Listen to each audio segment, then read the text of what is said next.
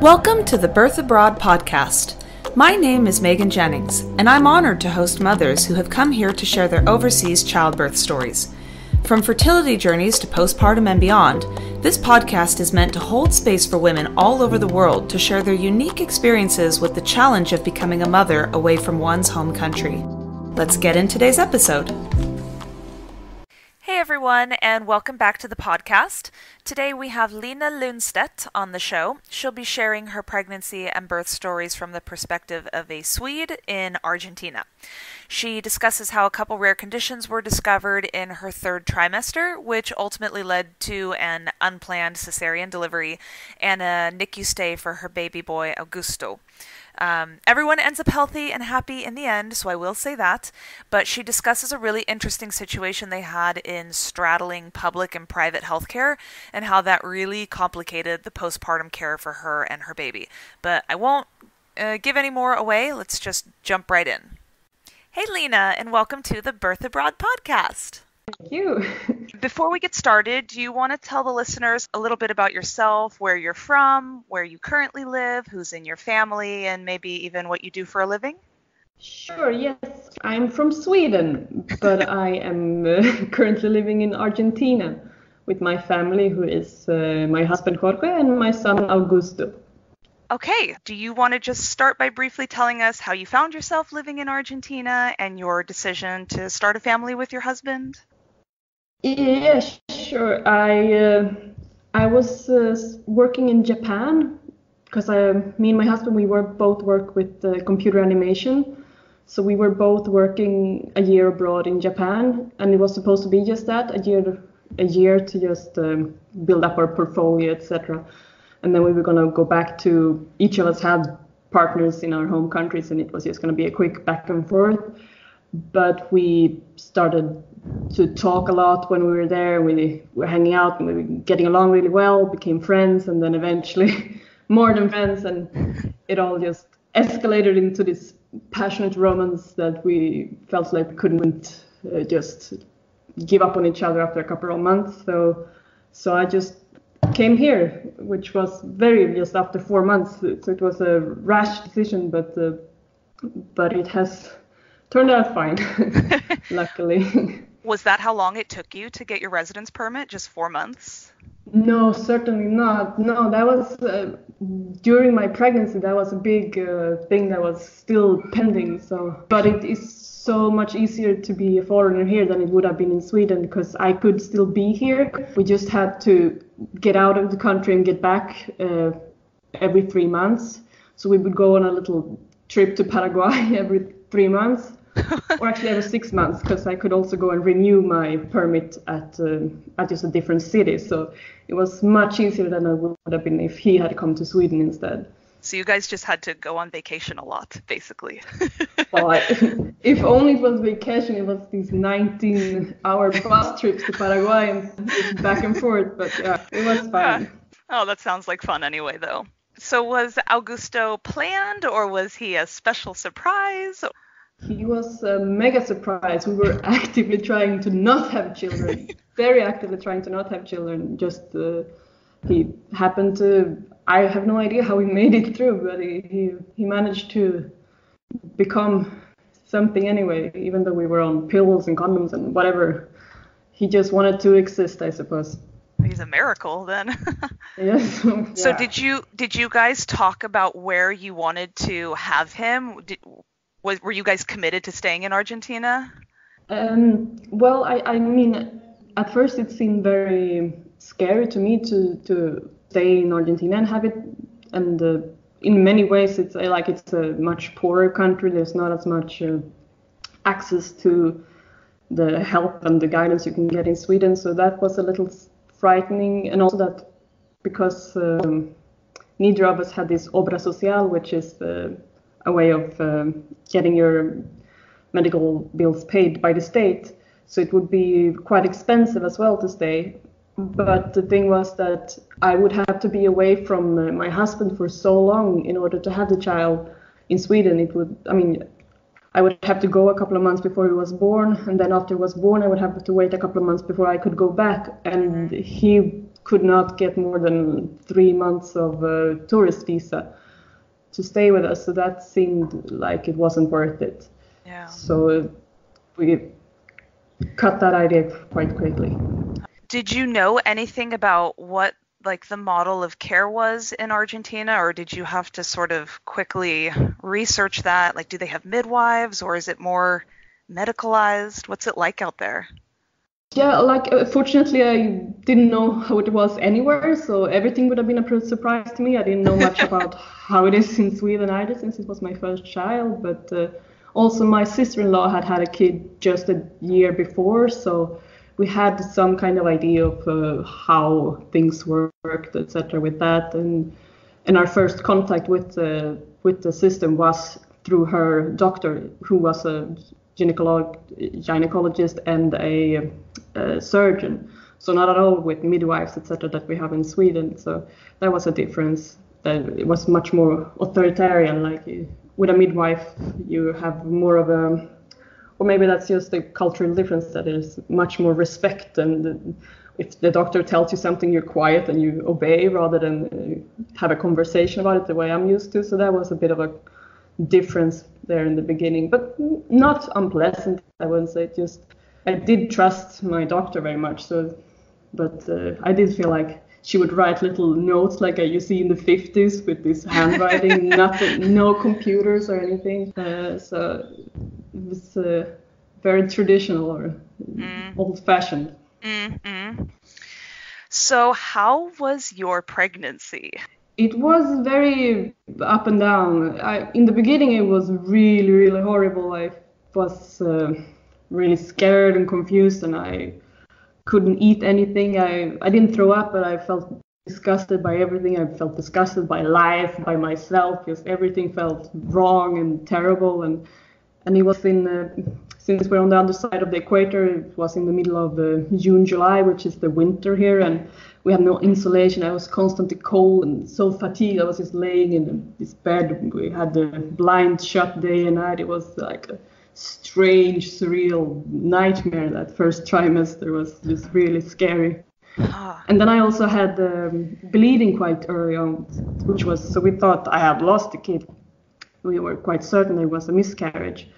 Um, so we had to go in and have a really early ultrasound and. Uh, we were convinced that oh well it happened and now it's not happening so that was scary and that was a sort of indication that something was like he was fragile he was um, not doing okay just this initial bleeding that frightened me and i was so scared of chemicals and eating the wrong things and things like that in the beginning there what what week did the bleed happen i think we discovered the pregnancy in week six so around week seven, I started bleeding, and then in eight weeks we had the first scan.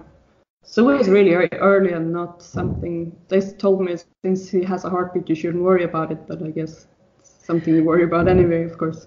Right. What was that moment like when you went in and got your ultrasound and you saw that the baby was there and okay? Was it a relief?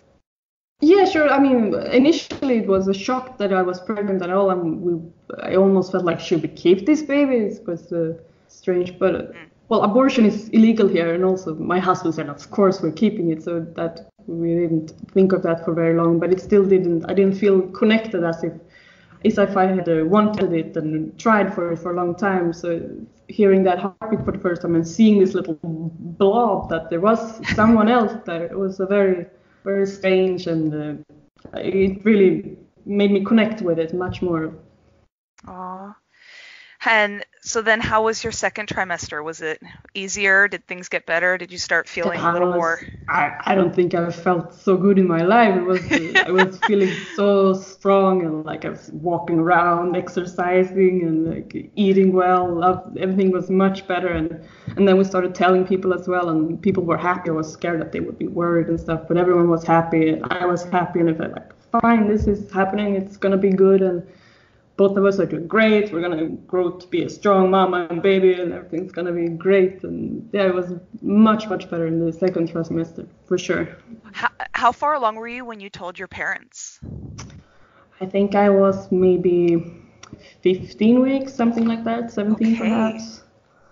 And and what were their responses, knowing that you were going to be going through pregnancy so far from them and having the baby so far from them? How did they feel about it? I, I thought that they would be upset or worried, but they were just happy. they had me and my sister quite old, so they they've been like really wanting to have grandchildren no matter what, kind of like before it's too late. So so it uh, turned out to be uh, a happy surprise for them, oh. I think, and no matter what. So now they hadn't even they hadn't met Jorge at the time. They hadn't. I told them no, it was uh, a stranger to them that I was having the child with, but they were happy anyway. That's how oh, much That's how supportive they are.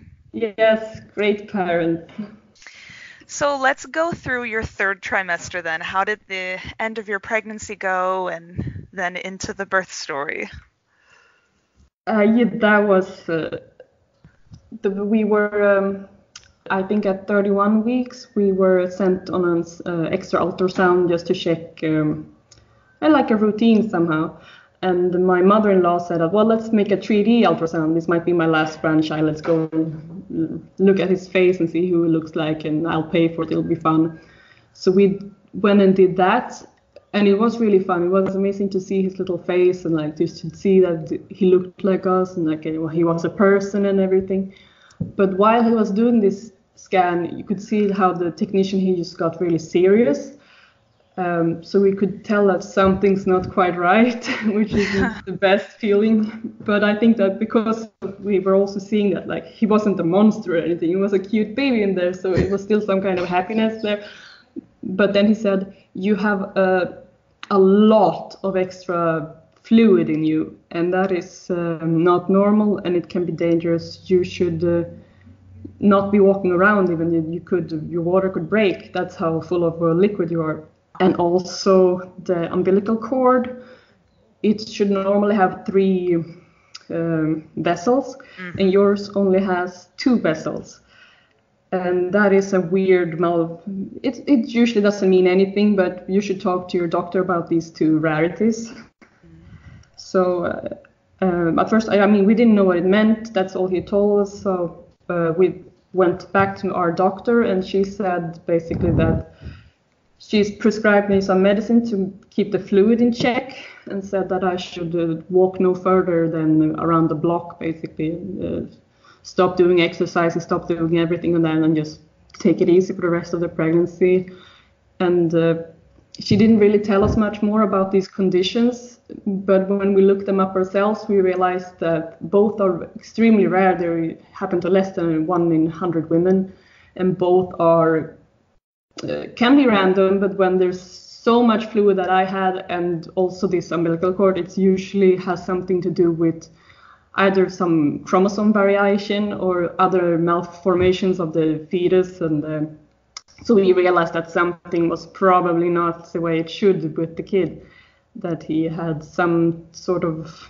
malformations or so we got really shook up by that of course did they offer to do any kind of testing to see if his chromosome profile was normal or did they just we tell had, you to yeah we had uh, done that test initially so we knew that we had like one in uh, 4000 chance of having a kid with Down syndrome. Okay. And I think they test for two other chromosome variations that are rare as well, and they were extremely low. But I guess I mean, well, it could be one of those one in a four thousand, perhaps. Right. I mean, uh, so we weren't sure.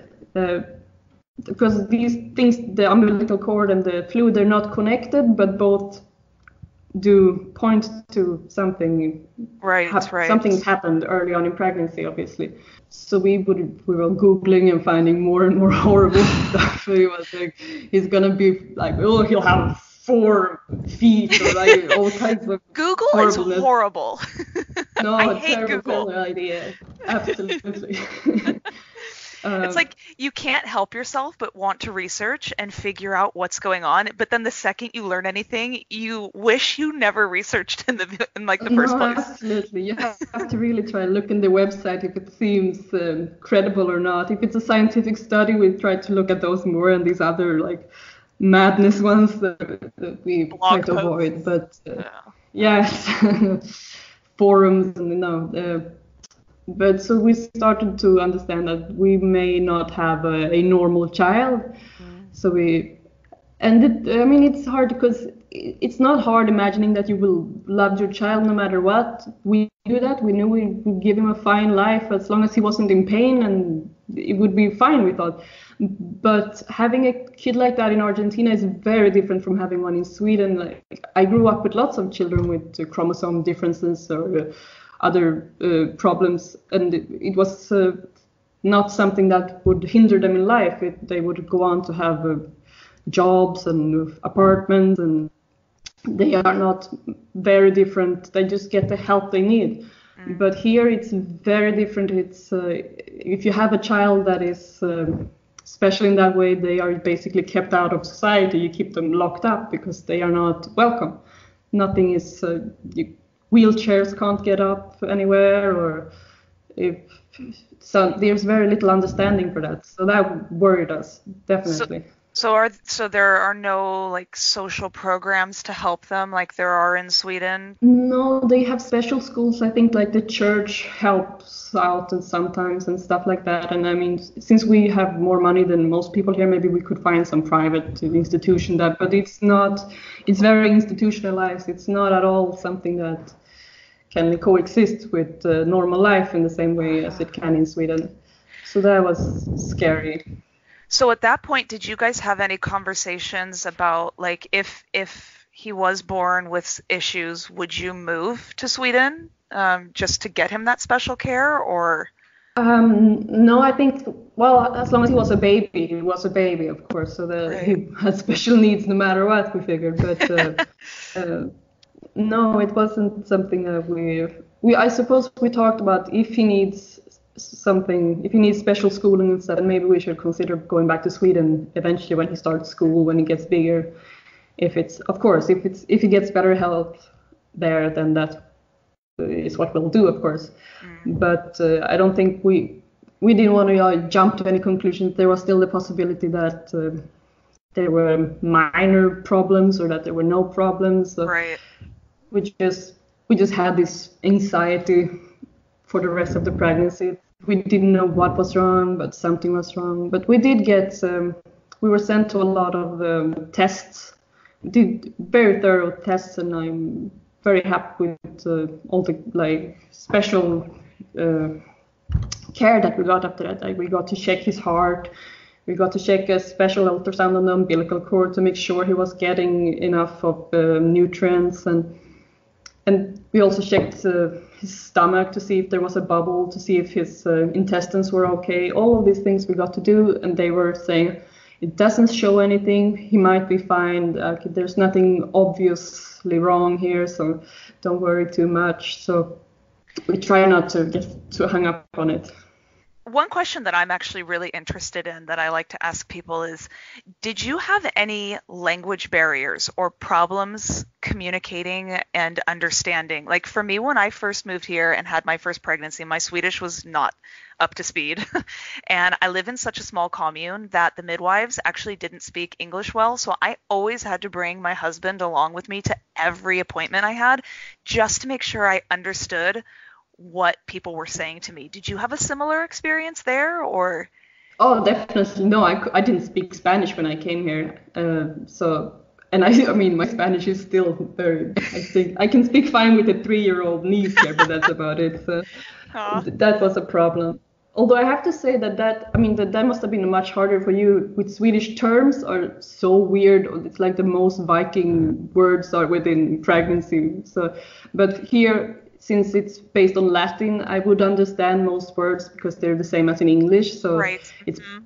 all the same, uh, basically. So you, I understood most of it, and I understood my doctor pretty well. She spoke really slow and made sure I understood. And I always brought my husband anyway, just in case. I mean, I don't want to miss yeah. any details. So, uh, but I did feel like everyone tried to, because here it's not even that.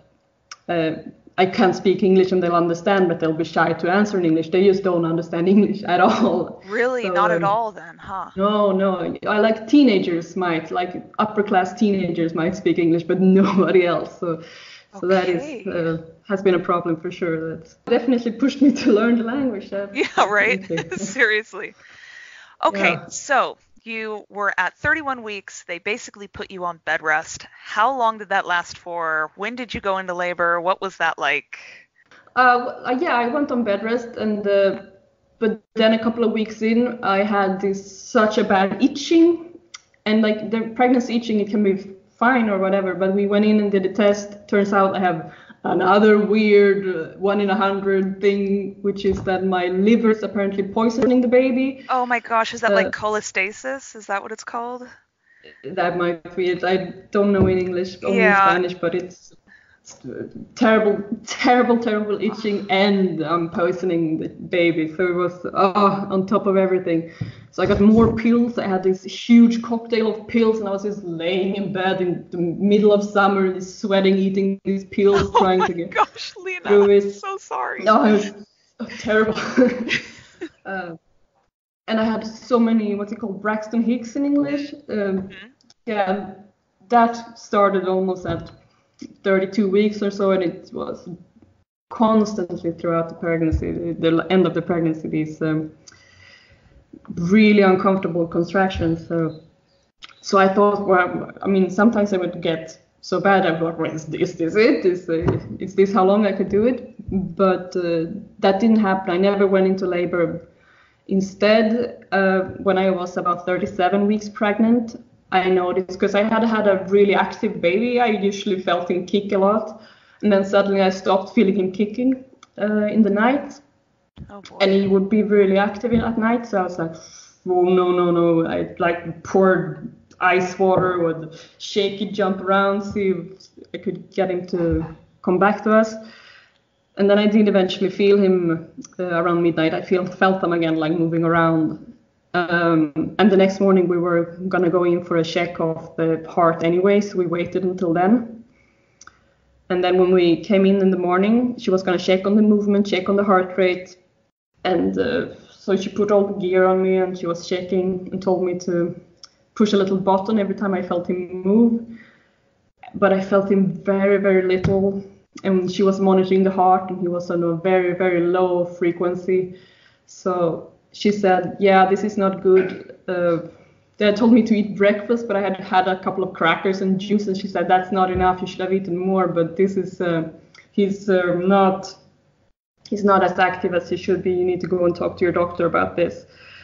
So we went down and talked to the doctor, and uh, she then said that um, this is so low, and because of all the other issues you have, we think we need to do a cesarean today, basically. So you go home and get your stuff, like take a shower, and then come back to this other hospital where they have um, where they have uh, a NICU because they didn't have it at the hospital where I was uh, supposed to give birth. Um, so we so we had to just go home, like change clothes, and then suddenly we gonna go and pick him out uh, much earlier than we expected.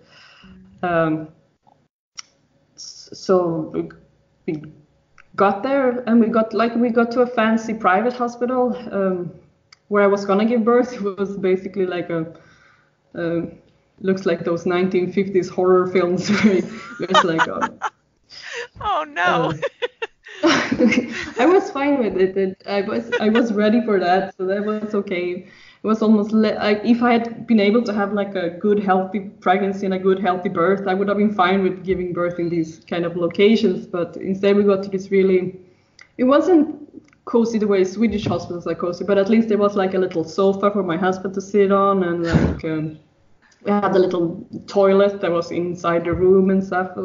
It was nicer than it would have been otherwise, but it was uh, just. Uh, the mood was much worse because we knew that the baby was so poorly and we didn't know what was wrong with him. We just knew that it was this really um, uncertain thing with the child that we, we didn't realize if he would live or what would happen.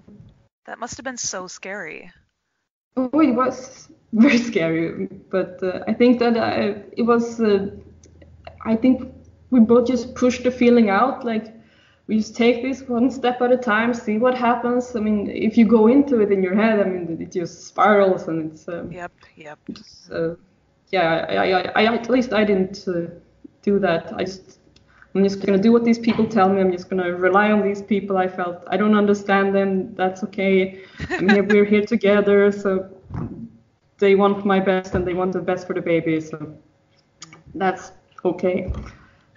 But uh, then it turned out that I was going to go down there to um, have the cesarean, and we didn't really get much information. Everything was very uh, so no one really spoke to us. We had been waiting there, and this nurse comes in and just pulls off my pants and like shaves me down, oh um, which was oh, fine. uh, but then uh, they start rolling me out and he my husband comes with me and they say no no you're supposed to stay here. And like but she doesn't speak spanish. We i don't we thought we could be together and they say and this is actually something i've read about that there is uh, they've recently changed the laws in argentina so that you are allowed to have uh, one person with you when you give birth. But otherwise it's very uh, strict like um, uh, they they say uh, I read some woman who had um, another Swedish woman who they were told she was told like shut up it doesn't hurt that much and things like that. Uh-huh. It's very um, much more um, rough yeah, experience. Yeah. Wait, is it so, the same if is it the same if you had delivered vaginally that no one is allowed to be in the room, just just you? No, this was they said that this was because of hygiene and he didn't okay. have scrubs. Right. But he, okay. they could have told me us and he would have put on scrubs, of course. But no, they just preferred him not to be there for hygienic reasons. And uh, they changed the law so that now the father is allowed to be there, but he was not allowed to go with me. So they rolled me away on my own. And I didn't know. I mean, these women, they had a special accent as well, the nurses. So it was extra hard to understand what they were saying. But but I just figured, okay, fine, they're just gonna take do it, okay. So they rolled me down into this basement in this room, and there's all these people there. But it was also my doctor, so that felt okay. She, fine, she's here, she knows me, she knows everything, and uh, and it was really casual. Like she was, yeah, she's from Sweden, and they asked me about ah computers. Oh, what's that about? Like. And, and I tried to explain that in Spanish while they're like putting the epidural in my back and like I'm just lay down here, we'll do this, whoosh whoosh. It was very strange that it was so casual in this moment. That was this really strange, traumatic, absurd experience for me. But I guess for them it was another day at the office, of course. But but uh, before I knew it, I just they put me down with things. Some guy was talking to me. He was kept petting my cheeks, which annoyed me so much. I felt like, oh, I'm not a child. I can speak to you, but I'm. And then all of a sudden, I just heard a baby. I heard him scream, and I wasn't prepared for that. I, I had read that sometimes with cesareans, the baby doesn't scream uh, when they take him out. So I figured Right. he'll probably be quiet. They need to clean him up and things. But I heard him cry, and it it was so strange because I didn't. I mean, that was the first time he was outside of me, like he was his own person, and uh, he he's cried this sort of whimpering cry, not at all like I had heard in movies, this sort of strong, healthy, furious scream that babies do, but it was more of a little sad whimper, and I just felt this really strong feeling that no, no, no, they they're gonna take it away. Uh, he needs to be with me. He's sad. I need to comfort him. Um, but they wouldn't, of course. They they they they showed him to me, but I didn't wear my glasses. I didn't. I mean, I saw a little blurry. They are well cute. I don't know. And then they took him away, and and I didn't know wh- where he was going, if he was healthy or not, and no one told me. They said he's he's beautiful. They said, but that's. Uh, that's all they said, and I assumed that meant that he's okay, he's gonna be healthy, he's fine. There was no extra tail, no extra limbs, no nothing obvious, obviously. So that was uh, comforting, I guess, but also so strange. And I, but uh, but then I didn't know uh, anything. Uh, they left me waiting with some nurses in the hallway, and no one told me anything. and it just felt like without care for me somehow. I don't know. Right, right, so, right. Yep. Like all of a sudden you don't matter anymore. Now that the baby's out, it's the the attention is just on the baby, and and now you're no, just on, on the table alone.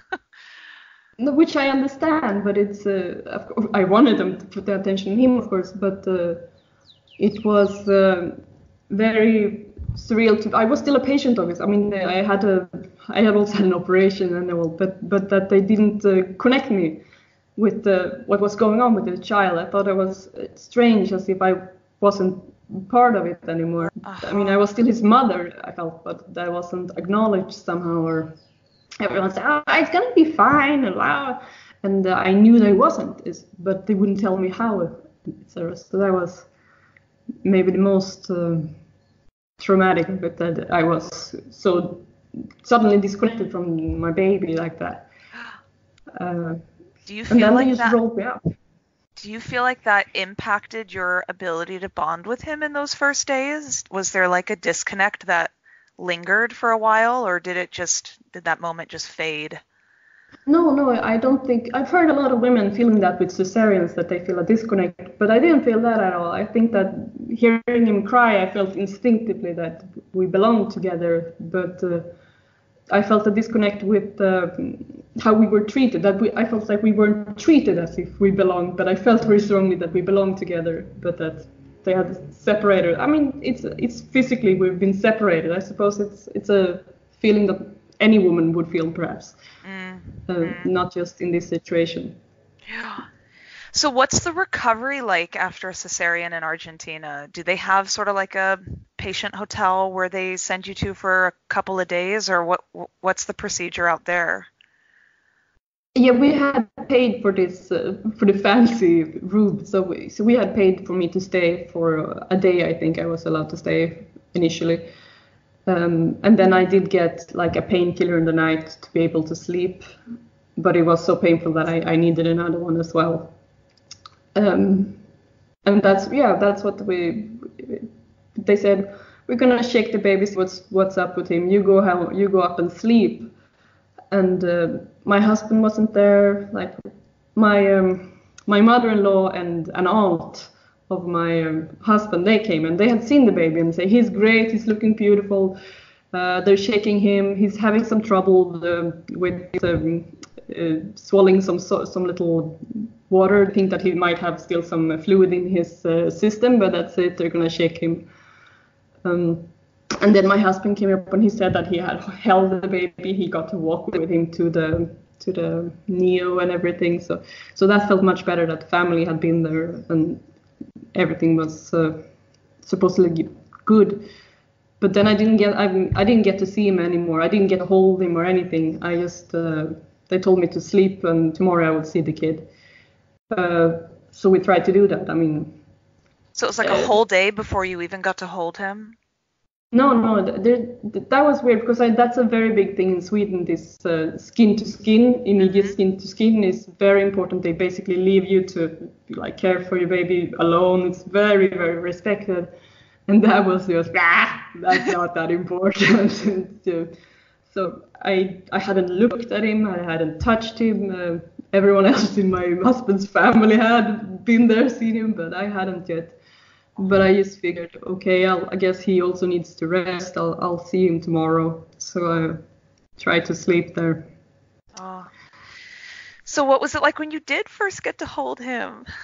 Oh, that's gonna be a while until I get to hold him. I didn't get to hold him for weeks. Oh my gosh. yeah, no, definitely not. I got to touch him. I got to touch his feet the next day, but uh, it turns out that he was born without an esophagus and that's why he couldn't swallow. And oh, that was the mouth. Yeah, that's what was going on. That's what all these weird little signs was about. He didn't have a, a connection from the esophagus to the stomach, and also the stomach was instead connected to the windpipe. It's um, called esophagus atresia with uh, some oh, fistula. It's just called in Spanish esophagus atresia con fistula. It's uh, a much longer name in English, but I don't remember it now but that uh, was why everything had uh, been so strange during my pregnancy. Okay. And it was obviously was obviously serious because if you can't swallow, you can't eat, you can't grow, and uh, he needed to have a major operation. We figured out quite soon there. Okay. So he was, uh, yeah. How how old was he when they did the operation? He, he needed to have it as soon as possible, but this was one of those things that I think was very particular for Argentina, this bureaucracy that happened, because we had uh, given birth at a private hospital. Um, and there was no uh, surgeon in our town that could do the surgery. The one surgeon that could, he was on a Christmas holiday, unfortunately, so so he couldn't do it. So we would have to move the baby to a city that was four hours away, which meant we needed to have an ambulance that could take an incubator. And that would not have been a problem at all in Sweden, obviously, where everything is the public care. But here, since these are parallel, there's the private and the public and if we had been born in a public hospital, we would have been fine. Everything would have been um, taken care of.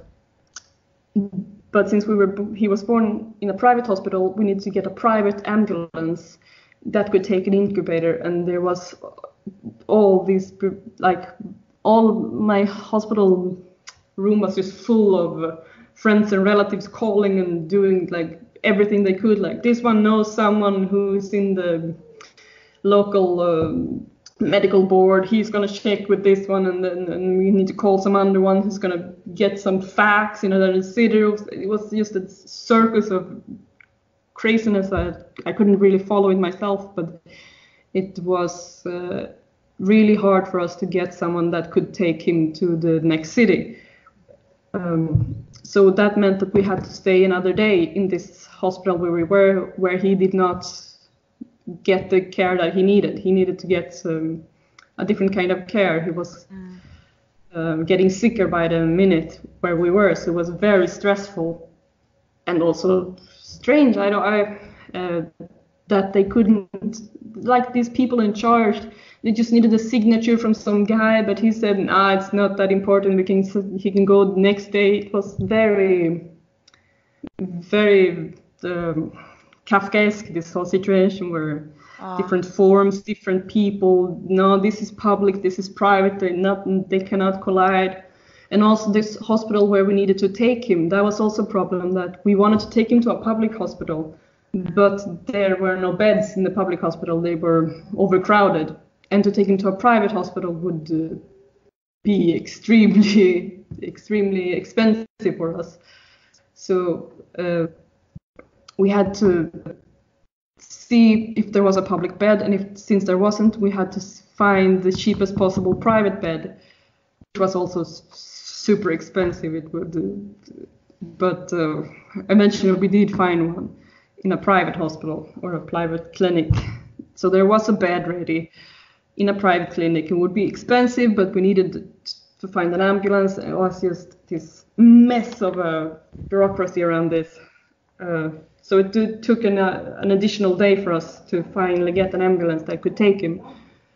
Was the hospital helping you to find the like a space in another hospital and and the ambulance, or was it up to you to like charter this ambulance to come help?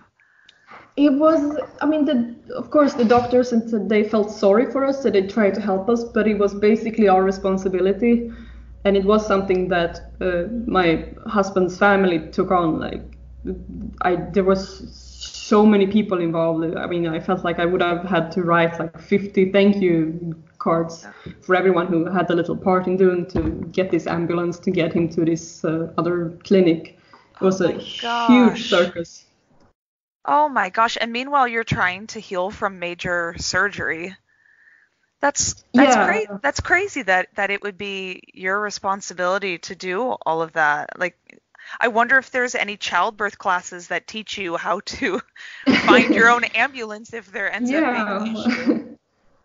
Yeah, I think that we it, again it's the the problem was mainly that we didn't have him in, in a public hospital to right. begin with. If right. we had had him in a public hospital, it would have been much easier but also then we would have had to take from a public hospital to a private clinic and that would have clashed again so i, I don't know exactly what why this happened or how it works but eventually we got an ambulance at least but then because I hadn't had the surgery, I was not allowed to go in the ambulance.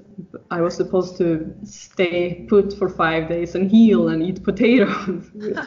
um, so that was really really difficult because uh, uh, I had so I walked down to say to see him go into the ambulance at least, and it was I don't know I think um, there had been so many people so many things going on I hadn't really felt the impact of anything yet and then when I saw when I saw them rolling him into the ambulance by himself in this little incubator and he had this little he had these little cords going in his nose and his mouth and and I knew that he might die during this ambulance ride. Oh gosh, I'm sorry, I haven't thought about this in a while. oh, it's okay. Uh, no, but uh, my husband was gonna go with him, but I wasn't allowed to, and I knew that this might be the last time I see him. Um, and I couldn't go with them.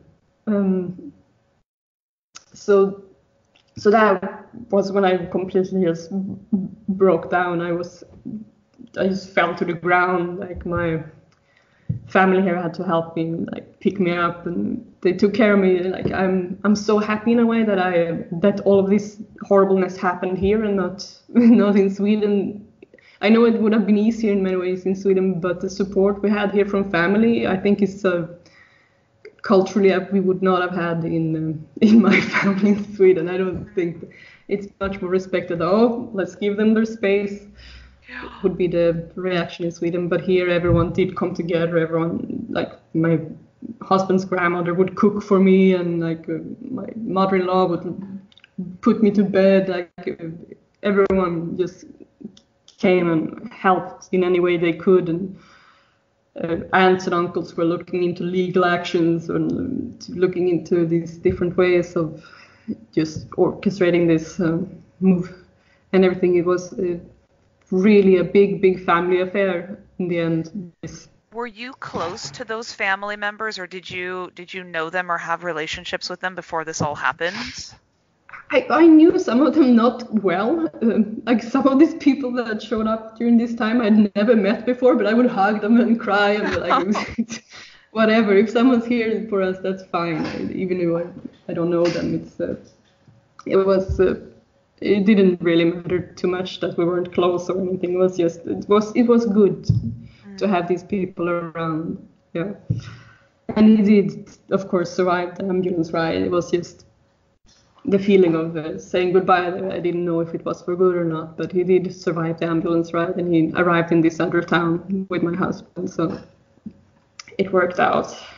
And he obviously received the care he needed because I, I know the end of the story, I think, just based off yes, of your yes, Instagram feed. great today. doing good. But it but was very scary. Was it just it like one surgery or was it multiple that he needed? I, have never even heard of this con- condition before, so I don't even. I don't. No, I feel like I don't know anything about it. Condition. Yeah, no, it's one in almost 4,000 babies are born with this. Uh, it's extremely rare and very random. They, they don't know why it happens or anything. Just, just every now and then there's a baby who's born with this weird esophagus that doesn't connect. uh, but it's it's a simple um, surgery really. It's just um, they've been able to uh, save babies since the 1940s or something like that, I think. So the surgery in itself was not what was worrying us as much as the fact that he had this um, infection in his body, and that made the surgery really dangerous because the surgery would put uh, pressure on the infection. So it, that could, if the infection spread, it could potentially kill him. So, so the surgery could, uh, it was like a 50-50 chance if he would make it or not, which normally would be a maybe 90% chance of making it. So, so that was scary. But but I did go. I did. I didn't stay and ate potatoes here. I, I went to the other city the next day because it felt. Um, I mean, of course, I can't just sit here and wait it out. We right. we went anyway. So I was there when he was having surgery. Luckily. How old was he when he was finally discharged to go home? He was about a month old when oh, we wow. went home. Okay. So we were there for a while. That was a we were in the new NICU for I think 25 days, something like that. but that was also a very different experience, I think, from Sweden in the NICU with the with how that was because um, I know from uh, listening to other people who have had uh, premature babies that it's you're very encouraged to be there, to touch, to be, but that was the same here. It was very focused on the baby needs this, and you stay out of it. You're allowed to go in one hour a day, but that's it. And um, we were very got very close to the other parents there because we were all in the same. Like, we had we were just sitting there waiting to see our baby for an hour if we were allowed. Sometimes they were like, no, it's not good today. One of the babies is not feeling well. You have to go home. So we were just wait and waiting. So that was I think three weeks of that, just waiting, seeing how is he doing. They can call us in a minute if he's getting worse. We go in this hour, we look at him in this little spaceship with all these uh, cords, like things going into his body everywhere, uh, and all these other parents with their little babies. Some of them had been there much much longer than us, of course. Um, it was uh, it was like um, you became your job kind of being there with these people. Right. Very did you feel like you had any control over the situation or or any way to advocate for yourself or your baby or or did they really just make you just sit and wait literally I, I didn't have any say in anything. They quickly realized she's not the one that speaks Spanish. We focus on the dad in this situation. And, mm. and I was there because I was the mother, but I did not have any say in, in anything that was happening. But I mean, I, I just accepted that. I just I knew that they were treating him well, that he was gonna get better here, and, and he did get better. It was ups and downs, but. So while you guys are separated and he's in the NICU and you're recovering, of course, from your own surgery, were you even attempting to like pump and breastfeed or anything like that? Like, how did you navigate that whole part of postpartum? I, I started pumping about a week after I had given birth. Um, I thought I would fail because like it felt like this is too late to start this. But uh, they said try to pump, do it every three hours, and then bring what you got, and we'll start giving it to him once he once he had some kind of functioning tube going down his, his esophagus. He could uh, take milk, and they said that we should then start to bring the breast milk. Okay. So I started to pump, and I got very little in the beginning, like just a couple of milliliters. But the uh, it, they mixed, they gave him formula, and they gave my milk as well. Then, and eventually, I, the supply got up a little bit, and I could get like maybe a little jar a day for him. Um, but it was very little, and it was more like a supplement to the formula he was given. Right. But then once he got strong enough to be taken out of his incubator, uh, he was put on the on the good side of the NICU, the, the healthier side where we were allowed to breastfeed. So I would come there once uh, every day and we would try to make him breastfeed, but he wasn't really into it. He was really tired, of course. He, mm-hmm. wasn't really doing much sucking, but uh, we got some, like they said, massage his little jaw, try to force him to get into it. And sometimes he would do a little nom nom, like he would taste it a little bit, or and so we just kept it up. Like I pumped, and once he started to try and breastfeed, I got my supply up much more because uh, I guess the hormonal exchange between us made it uh, flow a little better. So I yes. did get it up there. So. Yeah, I bet that's how it works. Yeah. Did your parents come and visit you, or did anyone from here in Sweden come to be by your side also while you were going through this, or how were they able to support you? No, I, I spoke to my mother every day. I, I would send her little messages about how, how Augusto was doing and things like that. Uh, but no, no one was uh, physically here with me. They wouldn't come until he was maybe three months old. They would come and visit my parents and my sister. Okay. But at the time when he was sick, it was uh, just a family here. Right. So, based on that whole experience, would you have any advice to give to anyone listening who might be in Argentina also having kids? Like, is there anything that you would be able to tell someone else that might help them navigate a, situ- a similar situation? Uh, yes, I would say make sure that you stay within either just private or just uh, public care, preferably the public one, since otherwise they're going to take all your money. but uh, uh, if that is a possibility, that that is it's great care. It's just really, really uh, crowded in the public uh, health system. So, but if you can get to have your ch- child there, that's much better in the long run that will give it obra social automatically and things like that i think also. Because that's been a problem for us that he doesn't have this um, we have to pay for all of his medical care now as well when he's uh, a kid uh, so um, that would not have happened if he was born in that way. That's a, a weird thing i don't know but that's an advice i can give. And also to be uh, to be make sure that the that you make sure that uh, both of you can be there during the birth that you need to maybe ask about that make sure it's going to happen because it's not something that's automatically assumed that the dad is there for the birth. You might have to actually say well, i want this person to come with me at least where i was. I'm in a pretty small city. I think in buenos aires things are very different but right. but still. Yes it might it might be good to double check that. Right. Well, is there anything else you'd like to share? Uh, no, that I mean, from the stories, uh, I can say that Augusto is now doing great. He's having very few health problems at the moment, and it all turned out fine in the end. it sounds terrible, but it was it's fine in the end. Oh, well, that's a great happy ending then to the story, right? Absolutely.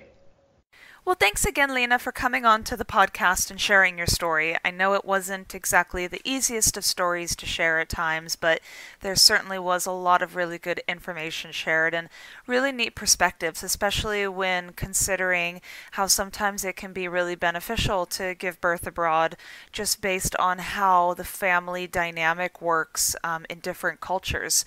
Like in this instance, um, you had your whole partner's extended family coming together to help you out, which I think is a really beautiful testament to the positive sides and the positive aspects to giving birth abroad, not just how it can be difficult at times.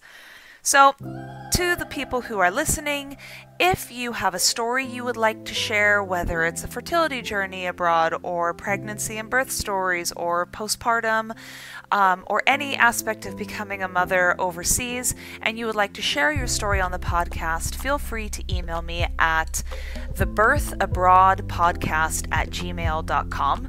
Otherwise, I look forward to bringing you all a new episode next week.